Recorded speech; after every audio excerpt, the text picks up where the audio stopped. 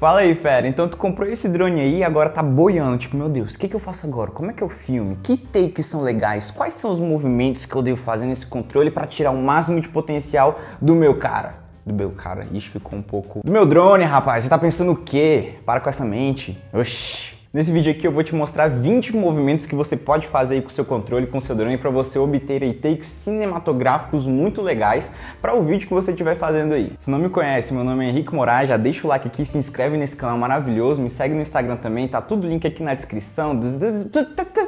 Leia a descrição, é importante. Antes de eu enumerar para vocês aí todos os movimentos que a gente pode fazer com o drone, eu quero falar uma coisa muito importante. Na verdade, três. A primeira coisa é que a história vem antes do take. Então você tem que pensar muito bem no tipo de vídeo que você está fazendo para você pensar no take de drone que você vai fazer. Não adianta nada você estar tá fazendo um vídeo agitado e você colocar um take lento, mais cinematográfico, mais slow assim de drone.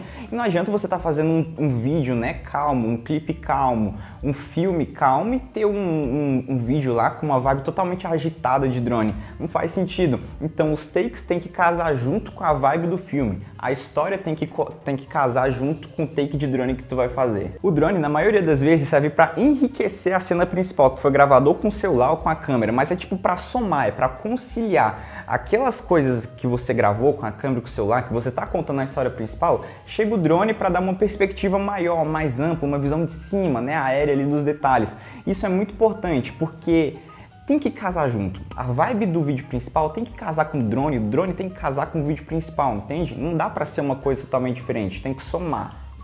Tá entendendo? E por isso que é um dos motivos que tem três modos aí no seu controle. Tem o modo de cine, ou tem o modo esporte e tem o modo normal. Se não tiver o três, tem dois, né? Tem o modo normal e tem o modo esporte.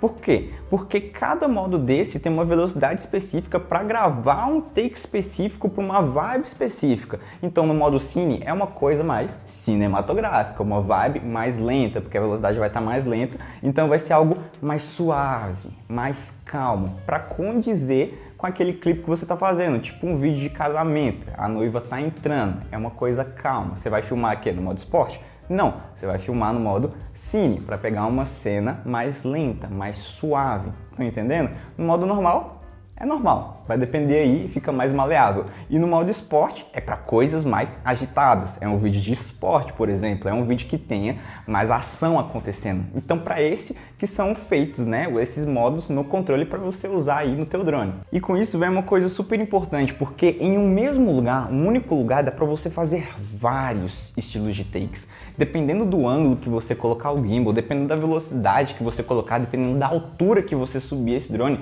dá para fazer basicamente acho que 20 tipos de takes diferentes em um mesmo lugar. É claro que você não vai fazer isso na maioria das vezes, mas é possível. O importante é que você tem que pegar tudo isso que eu acabei de falar e usar para ser parâmetro na hora de você fazer a composição dos seus takes de drone. Vamos aprender a usar ângulo, vamos aprender a usar altura, vamos aprender a usar distância, vamos aprender a usar velocidade, tudo isso para ser o ponto-chave para a gente contar a nossa história. Vamos lá? Para começar, a gente tem basicamente um movimento de não fazer absolutamente nada. A gente vai chamar ele de tripé. Basicamente, a gente vai deixar o drone estático em uma posição, pode ser apontando para frente ou pode ser com gimbal apontado para baixo para ter uma visão mais inferior. Fica muito legal os takes que você pode conseguir desse jeito aqui. E você pode fazer um enquadramento muito legal com alguma coisa aparecendo, dando efeito de revelar. Então você coloca um frame e aí a partir desse frame aparece uma pessoa ou algum carro no enquadramento e o resultado fica muito bom. No segundo aqui tem um movimento para trás. Basicamente você pode fazer isso quando você estiver em alguns cenários de paisagens, por exemplo, tipo esse do pôr do sol que eu fiz aqui. Fica uma imagem muito legal, parece até um helicóptero. Na verdade, todos os takes aqui parecem com helicóptero, mas esse efeito de para trás fica muito legal. Bom, se a gente tem um movimento para trás, a gente também tem um movimento para frente. E isso você pode fazer para dar um ar de imersão, para você colocar mais o que está dentro desse ambiente para as pessoas terem mais ideia dos detalhes que estão acontecendo nesse enquadramento. Em quarto aqui a gente tem um movimento para a direita. Você pode fazer isso tanto na visão mais para baixo com o gimbal ou na visão normal. O que eu aconselho é você fazer isso com coisas paradas ou com coisas que se estão se movimentando para a mesma direção que você está movimentando o drone. o efeito muito legal. Então, por exemplo, não convém muito você apontar o seu drone para a esquerda enquanto tem algo se movimentando para a direita. Só nesse caso aqui agora que vocês estão vendo, que dá um ar muito legal. Então, saiba usar, né, o para a direita e para a esquerda nesses casos. No sexto movimento a gente tem para cima. Esse é um dos meus favoritos que eu gosto de fazer isso muito quando o gimbal está apontado para baixo. Dá para ter uma noção maior do ambiente que a gente está filmando. Então isso é excelente em praias, isso é excelente para você treinar a sua composição. Olha a composição desse take, por exemplo, como ela está bem feita. As linhas, tudo bonitinho, tudo aesthetic, tudo geometricamente perfeito. Eu gosto muito desse estilo quando é para cima assim. No sétimo a gente tem para baixo. Então, se a gente faz para cima, tem um movimento também para baixo. Eu gosto de fazer isso muito no final dos vídeos, para dar tipo um goodbye. As coisas estão acabando, né? O vídeo está acabando. Aproveite isso aí. Depois a gente tem um dos meus favoritos, acho que se não é o meu, é o segundo favorito meu, que é o de rotação. É quando você aponta o joystick, só que na diagonal um pouquinho, e ele dá esse efeito muito louco, tanto quando você está subindo o drone, quanto você está baixando. Isso é muito legal para você usar em algumas coisas circulares. Por exemplo, tem um amigo meu, Alan Carvalho, que usou esse primeiro take aí da catedral para fazer um, um, link com uma bola de basquete rolando. Ele estava fazendo um vídeo de bola de basquete. Então ficou muito legal esse efeito. Então, o movimento de rotação acho que é o meu segundo favorito aí e ele não é tão complexo de fazer. Recomendo você tirar aí da, da sua cabeça várias ideias com esse movimento. Em nono, a gente tem aqui o para frente e para cima. Eu gosto muito de colocar esse movimento no início dos vídeos, porque dá um ar de mais digamos assim, eu acho que dá para mostrar com mais detalhes o início do vídeo, o início do lugar que a gente está mostrando para a galera que está assistindo. Então eu gosto muito de colocar ele no início do vídeo, porque dá um ar de imersão, um ar de oi e não um ar de tchau. Vocês estão me entendendo, né? No décimo, a gente tem um movimento para trás e para cima. Isso aqui é muito legal também e eu uso também nos inícios dos vídeos. Por quê? Porque do, da mesma forma que dá uma imersão, dá também um ar mais amplo das coisas que vão estar tá acontecendo. Do mesmo jeito que a gente tem o um movimento lá para frente, né? A gente tem esse movimento para trás e para cima. Eu gosto bastante dele, principalmente para mostrar eu em algum ambiente, como vocês estão vendo aí agora. Então eu estou andando aí ao lado dessa catedral e aí eu estou mostrando o todo para vocês. No décimo primeiro, esse aqui é o movimento favorito meu de drone, que é para cima e o gimbal para baixo. É quando a gente coloca o gimbal para cima e levemente a gente pega esse joystick do gimbal e coloca ele para baixo. Da mesma forma que a gente vai colocar para cima em outro movimento, só que esse daqui é um dos meus favoritos, velho.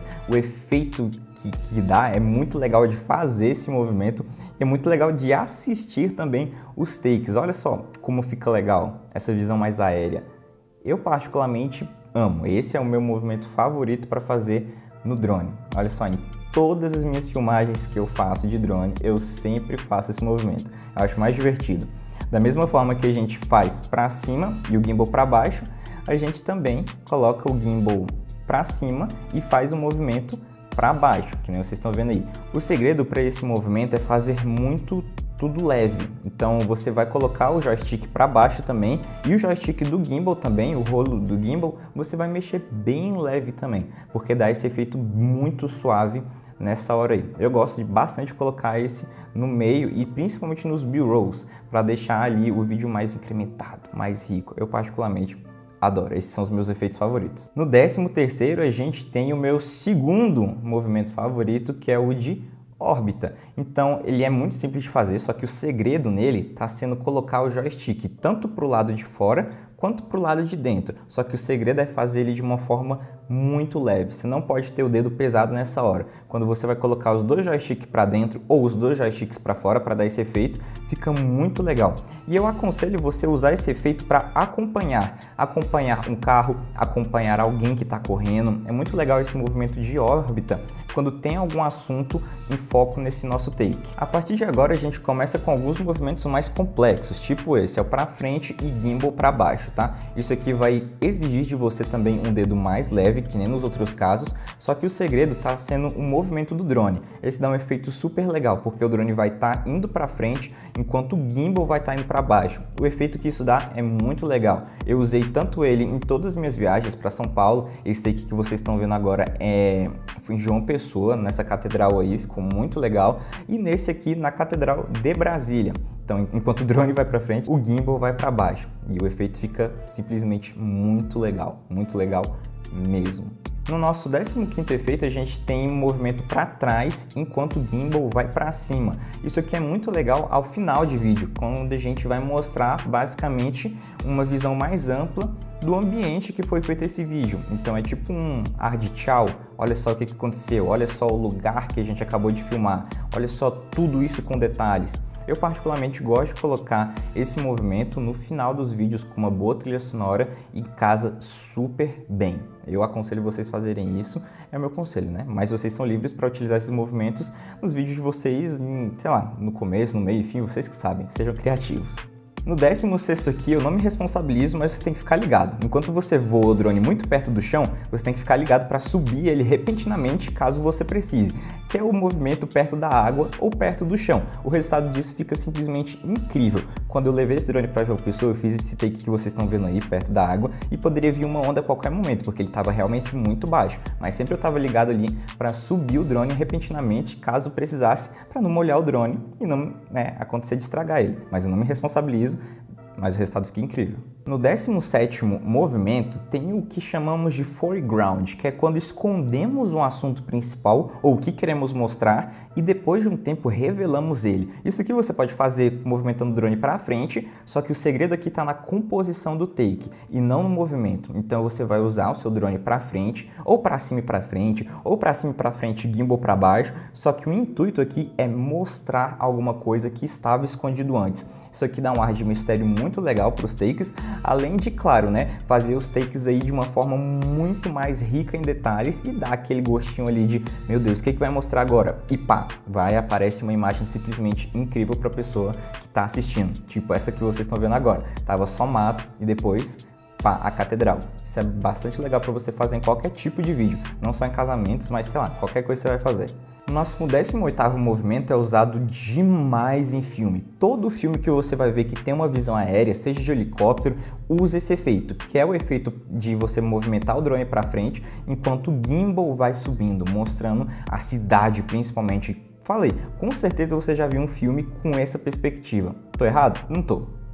O nosso 19 movimento e o vigésimo são os mais complexos e vão exigir mais da gente. É quando a gente vai fazer aquele movimento de órbita que a gente aprendeu, ou colocando o joystick para dentro ou para fora, enquanto a gente vai mexer no drone. É onde a gente vai utilizar todos os recursos que a gente pode no controle. O resultado fica muito legal. Então, enquanto você faz a órbita, você pode colocar o seu gimbal para cima e dar esse efeito muito legal aí que vocês estão vendo agora, ou vocês podem fazer o movimento de órbita enquanto o gimbal vai para baixo. Então vou mostrar aqui para vocês agora. Então você vai estar tá fazendo a órbita ali no controle certinho e ao mesmo tempo que você coloca o joystick para dentro ou para fora, o seu gimbal vai para baixo de uma forma super suave e leve. O resultado fica muito legal e é isso que vocês estão vendo aí agora. Vamos voltar para lá. Então é isso aí, fera. Espero que você tenha gostado desse vídeo, que tenha te ajudado aí a abrir sua cabeça sobre esse mundo maravilhoso, que é o mundo de pilotar um drone, de fazer takes maravilhosos. Espero que eu tenha te ajudado de verdade a, sei lá, desbravar aí a tua criatividade, a te inspirar em alguma coisa diferente. Vai ser muito legal se eu tiver feito isso. Tomara que eu tenha feito. E se tu é novo aqui no canal e não conhece, eu tenho um curso voltado para fotografia de celular, onde te ensina a tirar o máximo de potencial de um smartphone para foto e vídeo. Clica aqui no link na descrição onde eu explico direitinho, você vai lá pro site, onde eu falo sobre os módulos, o que você vai aprender etc. Tem também os meus presets para você editar suas fotos aí com um clique apenas, vai ficar bem legal, tá? No mais é isso, galera. Não se esqueça de me seguir no Instagram, no TikTok e eu aguardo vocês até o próximo vídeo. Falou!